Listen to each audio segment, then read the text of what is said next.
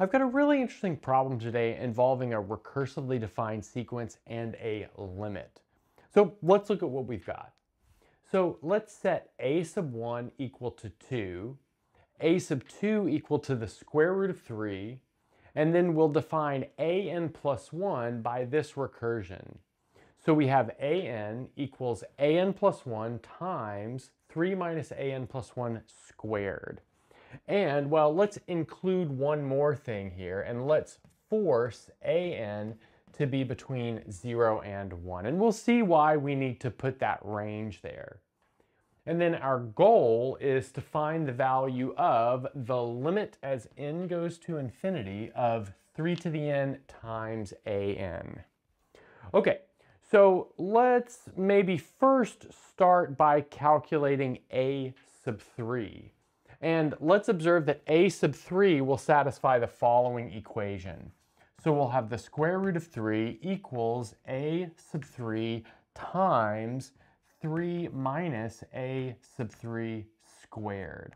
So that's just plugging the appropriate value of n up here and using the fact that a sub 2 is the square root of 3.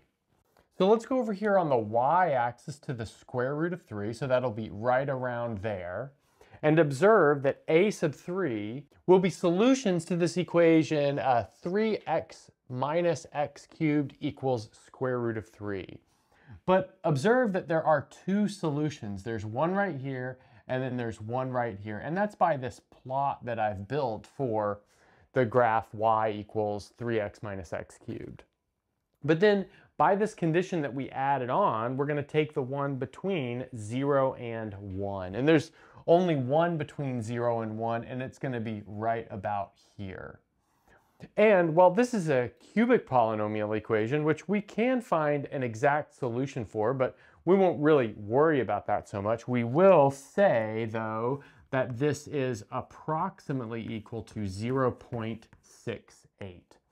So with my scale, it looks a little bit less than that, but I think my scale just isn't perfect. Okay, so now we've got a sub 3.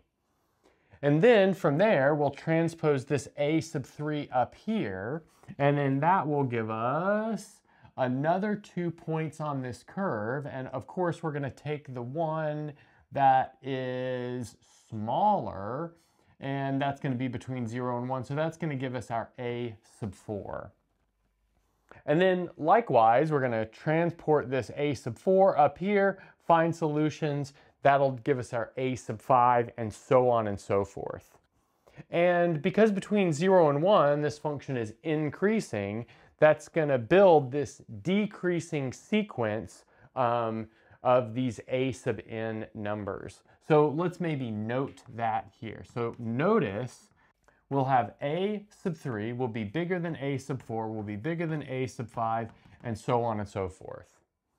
So in particular, we've got the following condition. Notice that a sub n is inside of the interval from 0 to 2 for all values of n, because here it's equal to 2, and then a sub n is on the interval from 0 to 1 for all n bigger than or equal to 3 by this observation that we've made over here with the plot.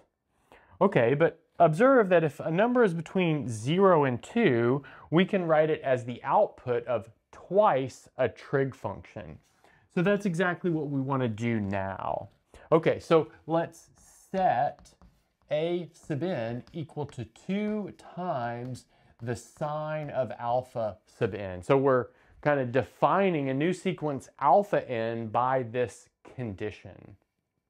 Okay, and now what I'd like to do is see what our original recursion will say about this sequence alpha sub n. So let's rewrite this original recursion using our a sub n equals 2 sine alpha n.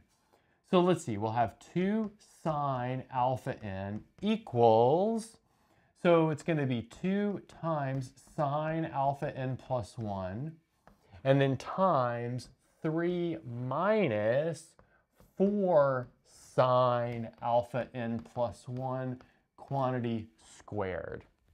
So again, that's just plugging our sine version of our a sub n sequence into our recursion. So check it out. We can cancel these 2's from both sides. Oh, that's not the 2. That's the 3. So we'll cancel the 2's from both sides, and then that's going to give us the following. So we'll have sine of alpha n is equal to sine of alpha of n plus 1 times 3, multiplying this through, minus 4 sine cubed of alpha n plus 1. Okay, good. But now that right-hand side, it may or may not look familiar, but that's in fact a triple angle um, identity or part of the triple angle identity for the sine function. This actually simplifies to the sine of 3 alpha n plus 1. So check it out. We have sine of alpha n equals sine of 3 alpha n plus 1. Now that doesn't mean that those arguments are equal because we know the sine function is not one-to-one, -one, but it is periodic. So that tells us that 3 times alpha n plus 1 is equal to alpha n plus 2 times m times pi, because again, sine is 2 pi periodic. Or we have 3 alpha n plus 1 is equal to negative alpha n plus m times pi, where m is odd. Okay, but can we push these two ideas together? And in fact, we can, and it would be like this. So we have 3 alpha n plus 1 is equal to minus 1 to the k times alpha n plus k times pi. So we've got something going on like that. But now we can go over here to our restrictions on a sub n and observe that a sub n being between 0 and 2 for all n. So that tells us that alpha 1 and alpha 2 can be chosen from 0 to pi over 2. And then alpha 3 can be chosen from 0 to pi over 6. And that's, again, to achieve these values of a sub n when we're putting them into the sine function.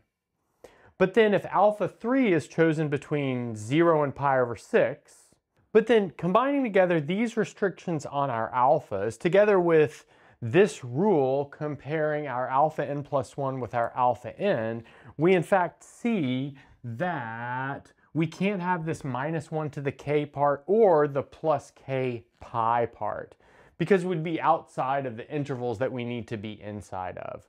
Okay, so, well, what that tells us is that in fact we have 3 alpha n plus 1 equal to alpha n for all n bigger than or equal to 2. Okay, so let's see how this can be used to finish this problem off pretty quickly.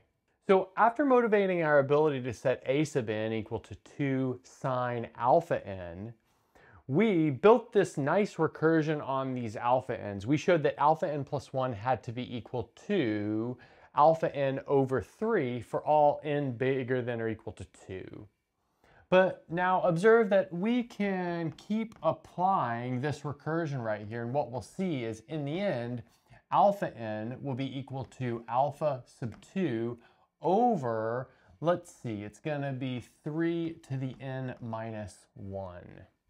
And now we're ready to do our final limit. So notice that the limit as n goes to infinity of 3 to the n times a sub n can be written as, well, I'm going to take a 3 out, and then we'll have the limit as n goes to infinity of, so it's going to be 3 to the n minus 1 times 2 times sine of alpha sub 2 over 3 to the n minus 1. But now this is actually a well-known limit and we can see that if we set, for instance, theta alpha sub 2 over 3 to the n minus 1, which is equivalent to saying that 3 to the n minus 1 is, let's see, alpha 2 over theta. But then after factoring some stuff out, this turns into 6 times alpha 2 and then we'll have the limit as theta goes to zero from above. After our change of variables, that's where theta is approaching. And then we have the sine of theta over theta. But that limit, like I said before, is well known. It's equal to 1. So in the end, we have 6 times alpha 2. But let's calculate alpha 2 using this rule right here. So what do we have? We have a sub 2, which is the square root of 3, over 2, dividing this 2 over, is the sine of alpha 2. But then which value of alpha 2 will give us sine alpha 2 equals root 3 over 2? Well, that is pi over 3. So that means we have alpha 2 is equal to pi thirds. So in the end, we have 2 times pi thirds, or 2 pi as the value of our limit.